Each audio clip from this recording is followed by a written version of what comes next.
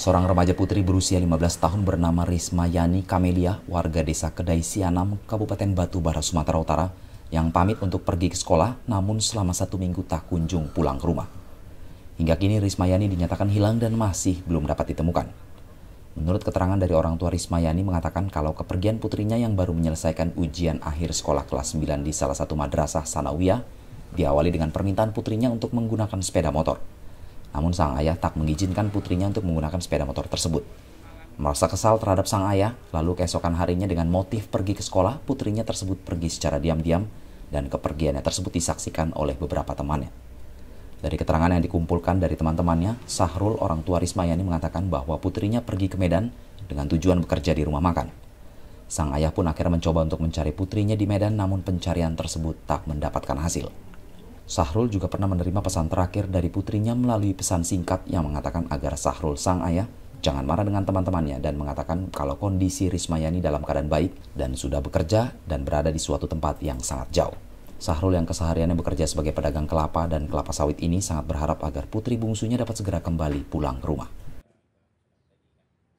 Dia pergi hari Sabtu, hari Sabtu itu jam setengah delapan dia bilang pergi aku nak sekolah ya.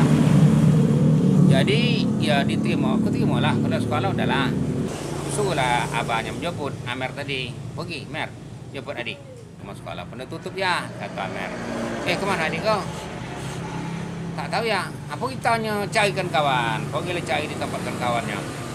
Begitu dicarikan kawannya kami tak sekolah hari ini. Nah, jadi orang tu menjelaskan Nah, dia udah lama ndak kojo di Medan. Jadi mana kau tahu? Dia bercakap. Itu dia ada perona SMS. Dia bilang ya, apa kabar ya? Sehat ayah. Nah, jadi aku pun udah ya, aku udah bekerja. Tok saya cari lagi. Aku udah jauh ya katanya.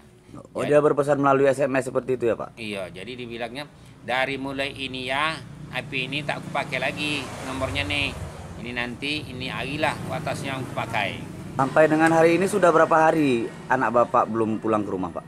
Dari mulai hari Sabtu. Sabtu, Minggu, Senin, Selasa, Rabu, Kamis, Jumat ini hari. Belum ada yang bisa bercerita sama dia. Udah satu minggu ya pak? Satu minggu harapan aku yang untuk bisa kembali dan balik lah dia aku ibaratnya kalau adanya kesalahan aku di rasonya aku minta maaf anak aku tuh nah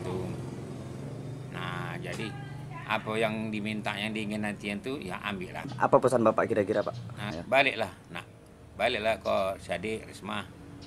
Ayat tunggu nih sekarang. Dari Sumatera Utara, Soleh Pelka, Tribrata TV, salam Tribrata.